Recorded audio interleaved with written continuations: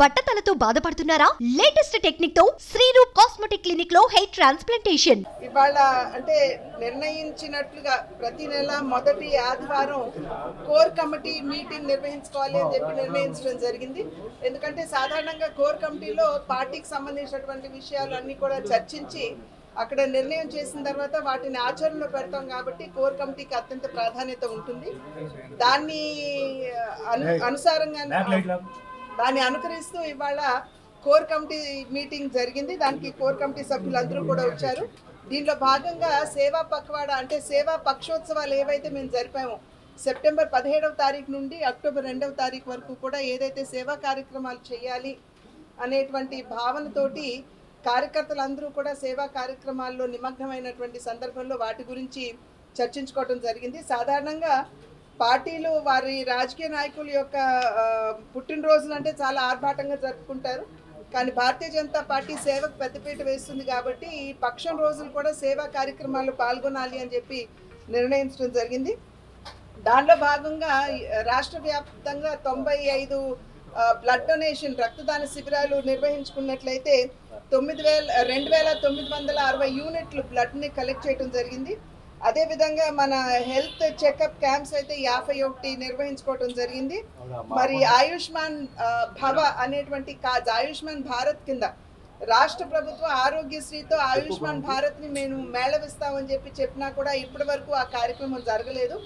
మొన్న ఎంఓఎస్ వైద్య ఆరోగ్య శాఖ మంత్రి గారు వచ్చినటువంటి సందర్భంలో వారితో చర్చించినప్పుడు రాష్ట్ర ప్రభుత్వంతో మేము మాట్లాడతాం. ఒకవేళ వారు గనక మిళితం చేయడానికి సన్నద్ధంగా లేకపోతే మాకు వివరణ ఇవ్వాలి అని చెప్పి చెప్తూ ఆయుష్మాన్ భారత్ కార్డ్స్ ఏవైతే ఉంటాయో ఆయుష్మాన్ భవ అనే పేరుతోటి వాటిని పేద ప్రజలకి ఐదు లక్షల రూపాయల వరకు కూడా ఉచిత వైద్య సౌకర్యం అందుకునేటువంటి అవకాశం ఉంటుంది. కనుక దానిలో భాగంగా రాష్ట్రంలో పదివేల ఐదు వందల అరవై తొమ్మిది కార్డులని ఆయుష్మాన్ భారత్కి సంబంధించినటువంటి ఆయుష్మాన్ భవ కార్డుని డౌన్లోడ్ చేసి కార్యకర్తలందరూ కూడా చాలా సమర్థవంతంగా పేదలకి అందించడం జరిగింది.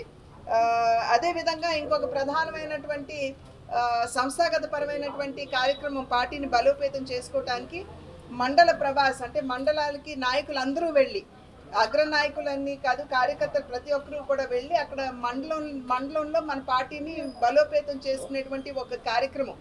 ఇచ్చినటువంటి సందర్భంలో రాష్ట్రంలో ఉన్న తొమ్మిది వందల ముప్పై ఇరవై తొమ్మిది మండలాలు ఏవైతే ఉంటాయో అక్కడికి వెళ్ళి కార్యకర్తలు మూడు రోజులు అక్కడ ఉండి అదే మండలంలో ఉండి అక్కడ ఉన్నటువంటి సంస్థాగత పరమైనటువంటి అంశాలు కమిటీలు కావచ్చు బూతులు కావచ్చు వీటన్నిటి మీద కూడా దృష్టి సారిస్తూ ఈ కార్యక్రమాన్ని కూడా చాలా సమర్థవంతంగా విజయవంతంగా వారందరూ కూడా నిర్వహించుకోవడం జరిగింది. అదేవిధంగా త్వరలో ఇవాళ రాష్ట్ర కార్యవర్గాన్ని కూడా అనౌన్స్ చేయడం జరిగింది. కనుక రాష్ట్ర కార్యవర్గ సమావేశం కూడా అతి త్వరలో పండక్కి ముందు నిర్వహించుకోవాలి అని చెప్పి నిర్ణయించడం జరిగింది. అది నడ్డా గారితో మాట్లాడి మరి నడ్డా గారు వస్తారు సంతోష్జీ గారు వస్తారు. వారి సమక్షంలో రాష్ట్ర కార్యవర్గ సమావేశం కూడా జరుగుతుంది. అదేనండి అది వారి వారి బయట నుంచి ఇచ్చారు.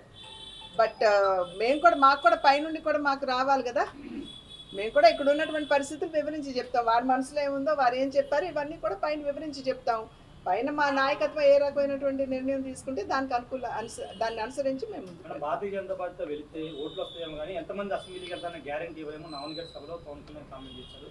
కామెంట్ ఎలా అది వారి కామెంట్ అండి. వారి కామెంట్ మీద ప్రతి కామెంట్ మీద నేను స్పందించవలసిన అవసరం నేను స్పందించవలసినటువంటి అవసరం లేదు. మా పార్టీ నిర్ణయం ఏ రకమైనటువంటి నిర్ణయం మా నాయకులు తీసుకుంటారు దానికి అనుకూలంగానే మేము ముందుకు వెళ్తాం.